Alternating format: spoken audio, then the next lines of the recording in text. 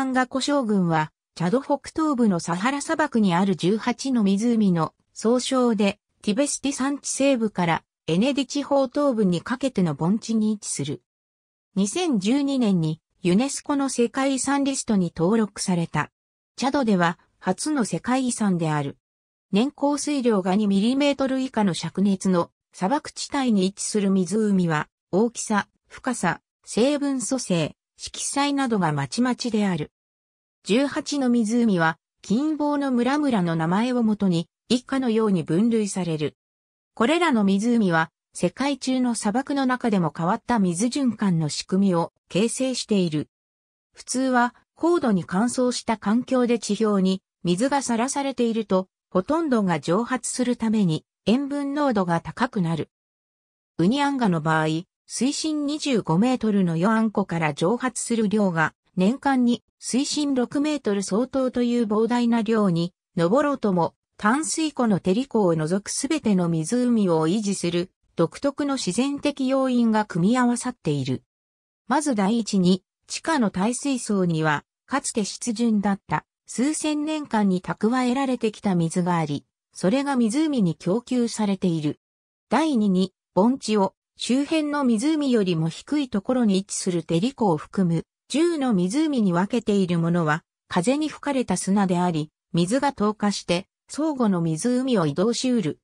第3に、淡水の湖の表面には足が薄い膜のように覆っており、これが蒸発を和らげているが、テリコの表面にはそれが欠けており、結果としてテリコの表面ではより多量の蒸発が起こり、低水位が保たれる。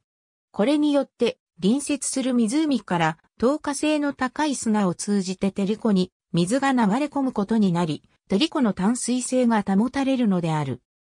この地方の気候変動の歴史は、およそ1万1000年前の最後の氷河期の終わりに人類の移住があったことに関わっていると考えられている。一帯はモンスーンが減衰した約5000年前に砂漠になった。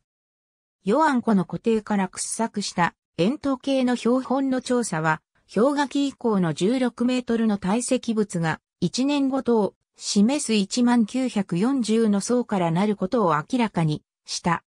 ウニアンガ古群がチャドの世界遺産暫定リストに記載されたのは2005年のことだった。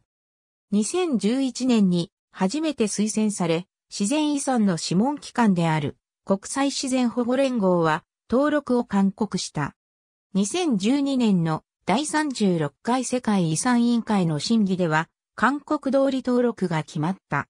チャドでは初めての世界遺産である。この世界遺産は世界遺産登録基準のうち以下の条件を満たし登録された。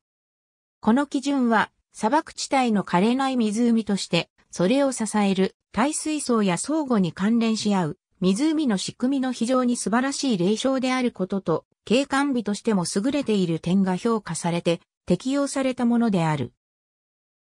なお、チャド当局は基準の適用も求めていた。